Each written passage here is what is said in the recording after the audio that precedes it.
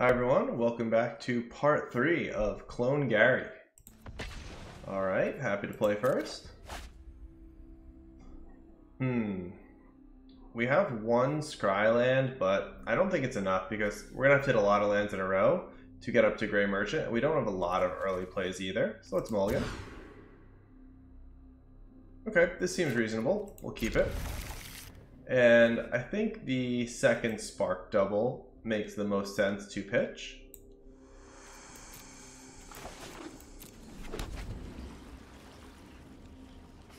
And I will just run out the Order of Midnight.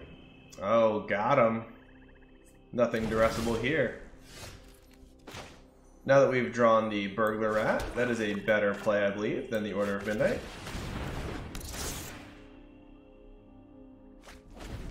Try to get the additional value out of the order by buying a creature back. Alright, let's see we might be playing a mono black aggressive deck. I... I don't think we can race them outright. So we have two main options here. I am going to shock. So it's going to be either the Midnight Reaper or Quasi Duplicate. I'm gonna go with Midnight Reaper. That way we can trade off a Burglar Rat for one of the Gutter Bones and still draw a card off of it. Okay, they've got a Midnight Reaper of their own.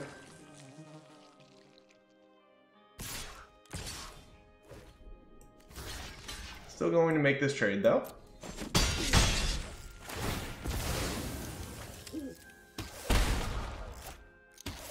Okay, Cavalier of Night will be good in a couple turns. So here we have the option of Spark doubling to make a big Midnight Reaper or Order of Midnight plus Burglar Rat.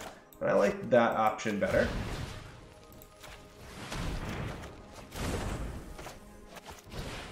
We'll put them down the card they just drew and give ourselves another opportunity to draw a new card. And I'm going to keep this Midnight Reaper back. Um, potentially I want to block both of their creatures here. Okay.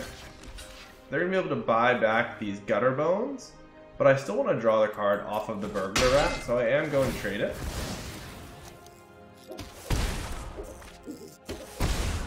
We're finding quite a few Burglar Rats these days. Bit of an infestation. Oh, and our opponent is all about the rats too. This is a uh, pretty unique matchup we've got. Okay. Let's see what's on top. Another Order of Midnight. And we're kind of in this grindy value matchup, so I'm going to keep that there. And we can Burglar Rat Order of Midnight, or we can Spark Double the Midnight Reaper. I kind of like the idea of spark doubling a Cavalier of Night, so I think I'm going to hold out for that. We're just going to play the Burglar Knight out. I'll probably discard the Gutter Bones. And we'll also play out the Order of Midnight here. And we can start getting in with the Order of Midnight. I wonder if it makes sense to now attack with the Midnight Reaper. So we've built up a decent amount of card advantage. I think I am going to hold it back, however. And my plan is to Cavalier of Night, destroying probably the Midnight Reaper. I feel like the Piper of the Swarm is a ways away from going off, and we'll have a chance to... Oh, okay, so I was gonna... I was gonna say we'll have a chance to kill it by doubling the Cavalier.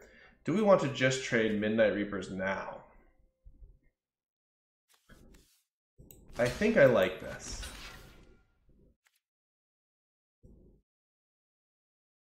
Hmm.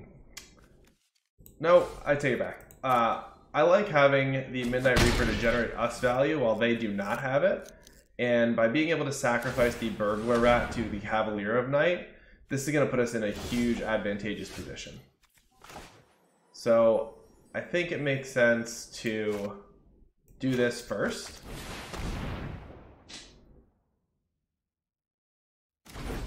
That way, if they do decide to block with the Piper of the Swarm for some reason, they are not drawing a card off of it. So we'll sacrifice the Burglar Rat and get rid of the Midnight Reaper. And hopefully the lifelink on the Cavalier will allow us to make up some of the damage that we're taking from Midnight Reaper here. Go ahead and scry. Yeah, and I'll keep the Spark Doubles. A lot of clones of Cavalier of Night are just very powerful. Get him with both of these.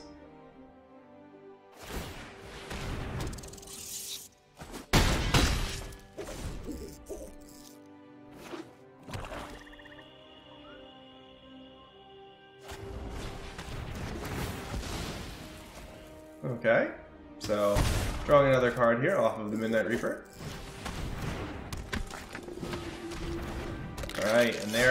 They've got no cards left in hand.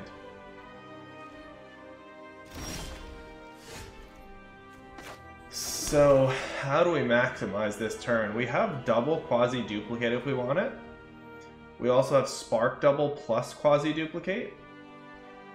It feels most important to get rid of the priest and the piper of the swarm. Let's start with Spark Double.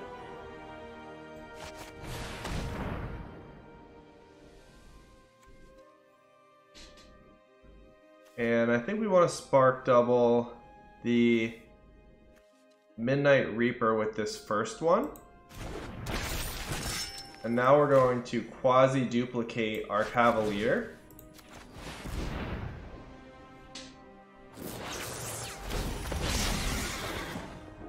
sacrificing the original Midnight Reaper to draw two cards and destroy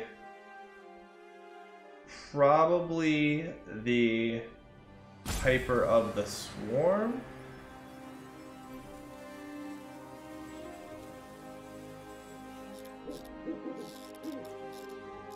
Yeah, let's go ahead and sacrifice this.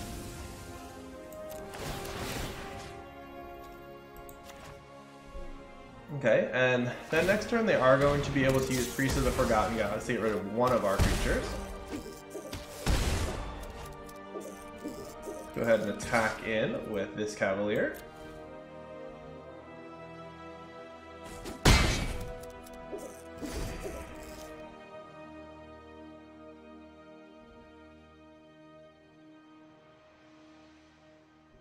So if they use Priest first to sacrifice the two Gutter Bones, I will get rid of our tapped Cavalier.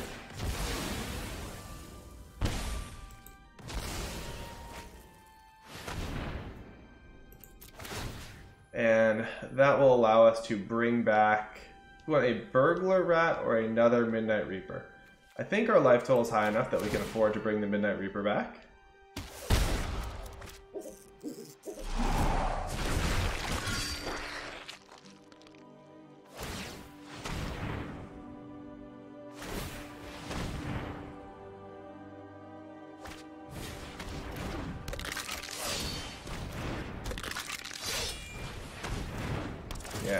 Burglar is not going to be particularly effective against us.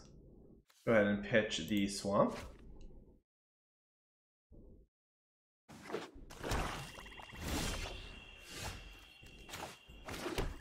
Okay, so a lot of good options here again.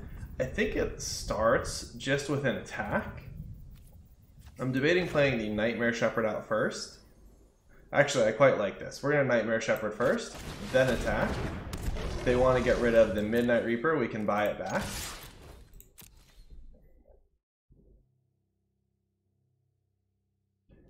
And then I am likely to Spark Double Copying Cavalier to get rid of the Priest of the Forgotten Gods.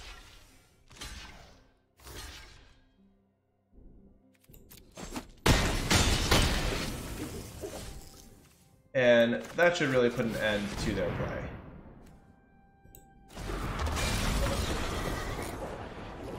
Okay, so uh, pretty smooth game one there. Against Mono Black, how do we want to adjust? Well, it feels like Cry the Carnarium is going to be spectacular against their deck specifically. And I think the two Tyrant Scorns are also important to bring in. In terms of cards to cut. Hmm. Well, I like Tymaret because it allows us to exile cards from their yard, like Gutterbones. It feels to me like we can go down on our clone effects because Again, this is likely not to be a game that drags out super long. And other cards that we can go down on, I think probably the Burglar Rats. They're usually the least impactful.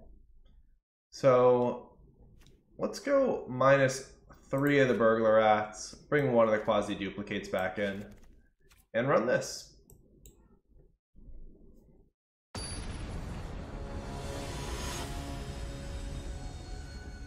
I like the quasi-duplicate over the spark double just because it is a mana cheaper and we do get to cast it twice. Okay, um, so a little on the slow side, but we have Tyrant's Scorn, so it's a keep. And then we have our top end as well. Here I'm going to fetch a black mana to make sure we can cast Ayara on curve if we draw it.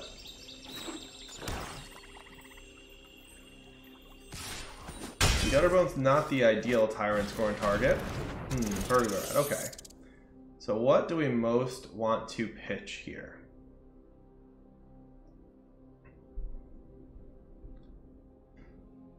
Hmm, this is a tough one. I think I'm going to get rid of Atris. Even though Atris is a lot of value, I like the large flying body in Nightmare Shepherd and the ability to replicate these effects. So here, I am going to Shock. It's pretty close being up against an aggressive deck, but I think the value in being able to Tyrant Scorn makes it worthwhile. We're going to allow them to hit first, though.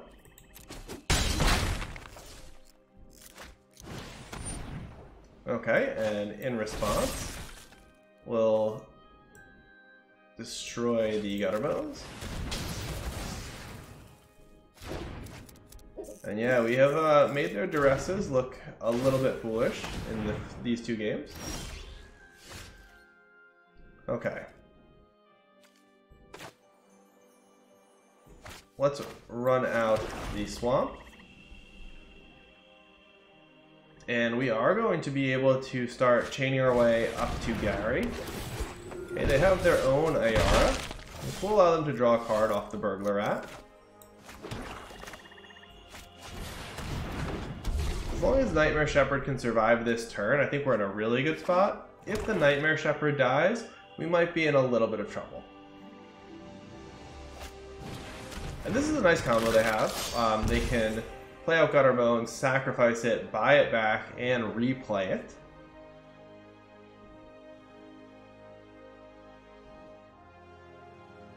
I think actually my next turn is likely to be playing out Cavalier of Night. That would make our Gray Merchant much, much better. The only problem is I do not want to sacrifice the Nightmare Shepherd.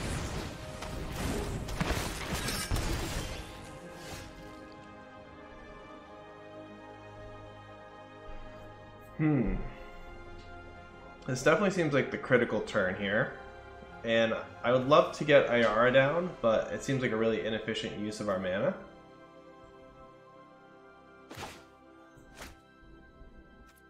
I'm actually going to attack with the Nightmare Shepherd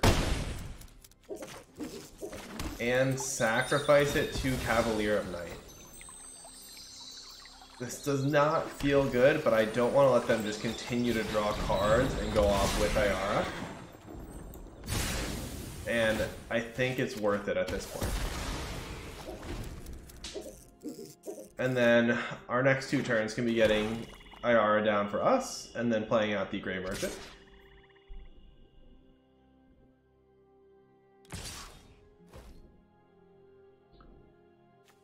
Uh, I see no reason not to block the gutter bones here.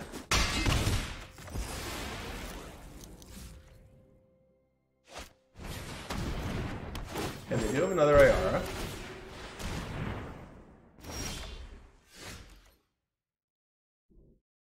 So the question is, do we Ayara first and then Gary? Let's start out with a Scry. The swamp on the bottom. And I think we do want to try to maximize the amount of devotion when Gary comes down. And this will do an additional damage just for the creature entering the battlefield.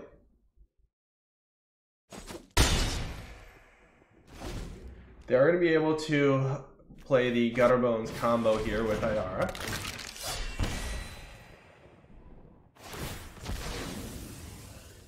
I think overall, our cards are more impactful than theirs, though.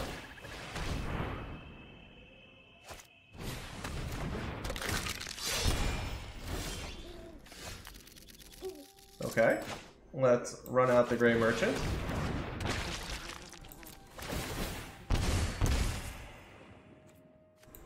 And unfortunately, we have no three drops or lower to get back with Cavalier of Night. Hmm. If we attack with both, they block Cavalier and we put them to six. That does not seem like the way forward, however.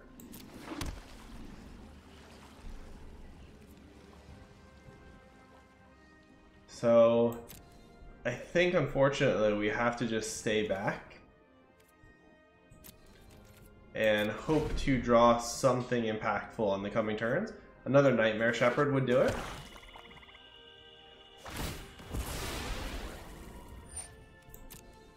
But as it stands, they are drawing an additional card per turn, so we'll need something pretty soon. Okay, Piper of the Swarm. Knight of Ebon Legion.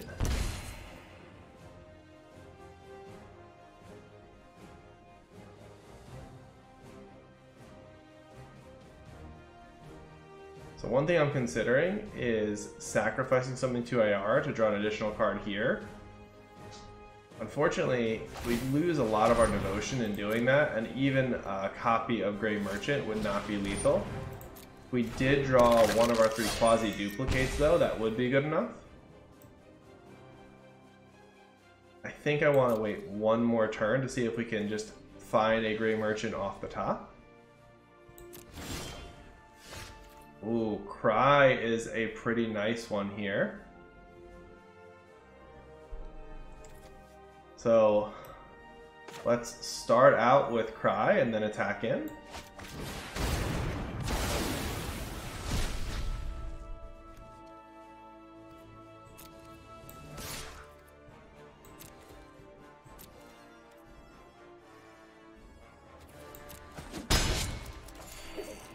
Hold on to this land because if we do draw quasi-duplicate, we want something to pitch to jumpstart it.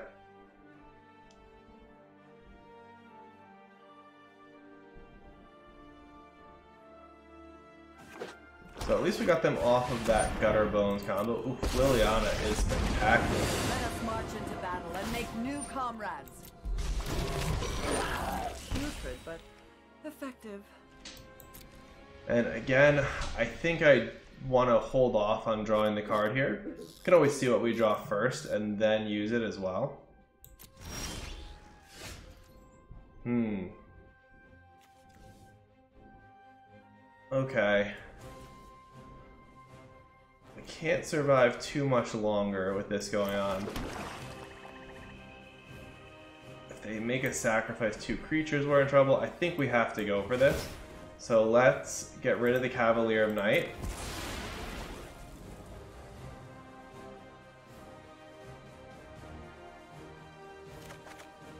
Oh man, we're a little bit flooded this game, unfortunately. So at this point, I think if Liliana makes both players sacrifice two creatures, this game is unfortunately over for us. They have some nice synergies going on. Is enlightening.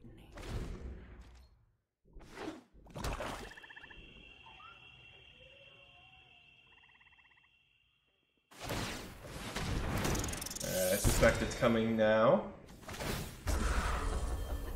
And there's actually not a way out of this for us at this point. Their life total is too high. So we'll go ahead and go to game three. Is there anything we really want to change?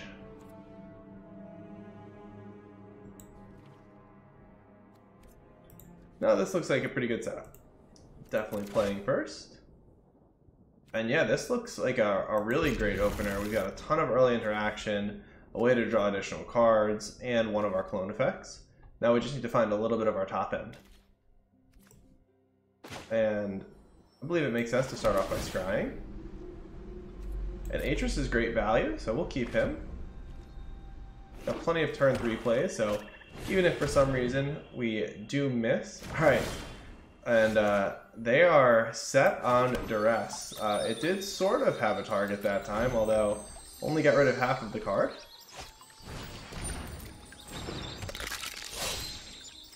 Alright, it looks like they're stuck on one land here, so maybe uh, a little bit of a shaky keep over there.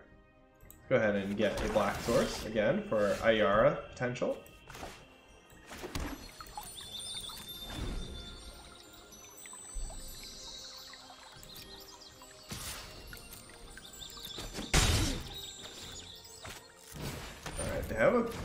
Bunch of gutter boneses. Go ahead and I think here yeah, we still want the black source in case we draw Ayara. Alright, so we have a couple different options here. I'm heavily leaning towards just playing out a 2-3 Murderous Rider. It feels a little bit better than even using it to kill one of them, as it can just be a wall. I'm going to go ahead and do that.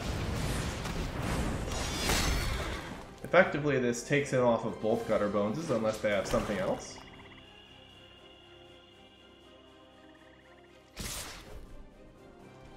Okay.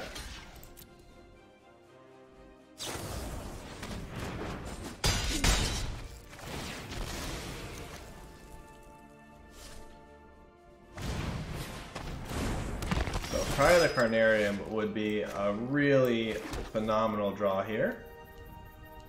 As it stands, I think I would like to just play out Atris.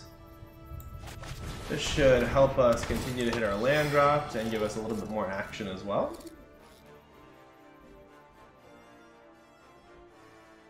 And certainly if uh, they show us Cry of the Carnarium, we will jump all over that one.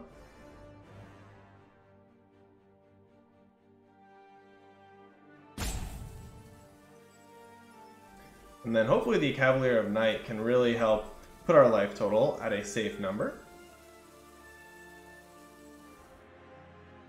Okay, so we're being shown Gray Merchant, and we do have the clone effect. We don't have a fifth land, however, and I think I actually want to just take the two cards.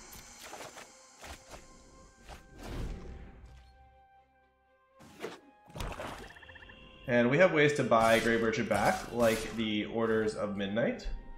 Hmm. So do we want to trade off Atris? I don't think so. I think I'd rather at least sacrifice Atris to the Cavalier of Night. Although, does that make sense? If I'm going to sacrifice it anyway to destroy something, maybe I should just trade it with one of these now.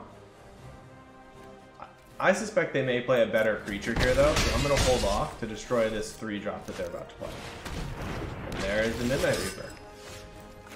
Okay. Let's first get in.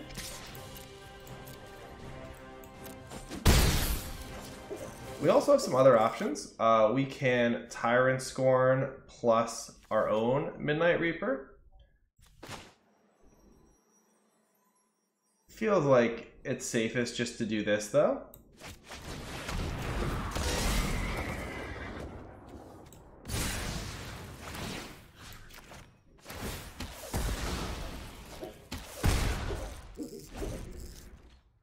Okay. And then we have a lot of different options next turn. It really depends on what the board looks like. Alright, they did find a target for this duress. We really don't have a ton of non-creature spells. Okay, and a Burglar Rat. I think I just want to exchange a Yarok Fenlurker for that. Let's scry. Ooh, Nightmare Shepherd's an excellent draw. Go ahead and run out both the Midnight Reaper and the Yarok Fen Lurker here.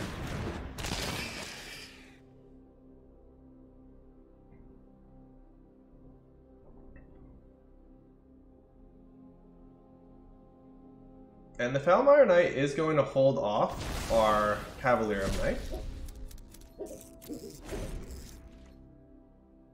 But once we land the Nightmare Shepherd, I may just attack in with it.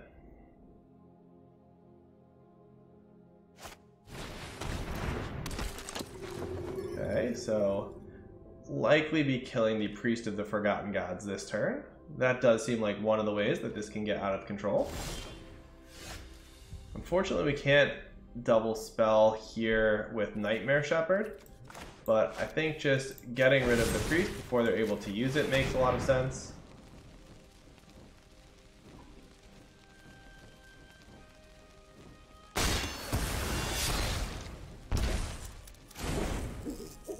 And then I think I actually want to attack in with the Fenlurker here. Uh, will allow us to draw an additional card. Alternatively, I can quasi-duplicate. No, I don't want to pitch the Nightmare Shepherd, however. So, let's offer to trade the Fenlurker.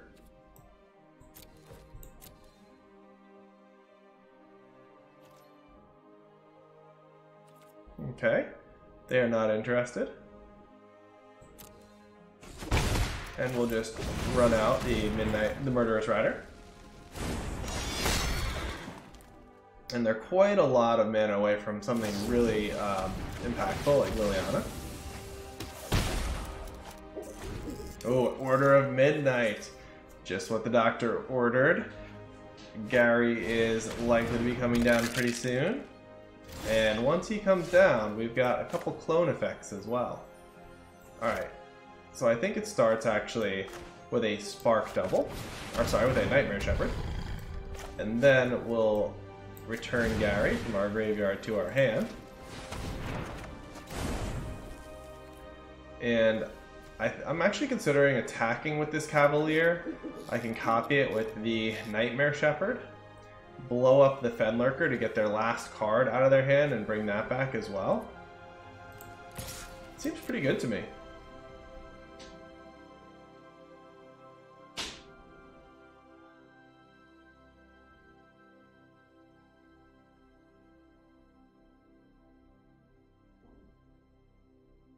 So they might just chump block here, but I'm certainly happy to gain 4 life.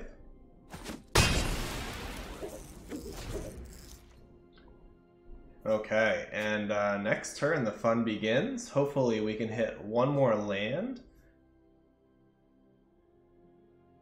That we can even play out the Order of Midnight first.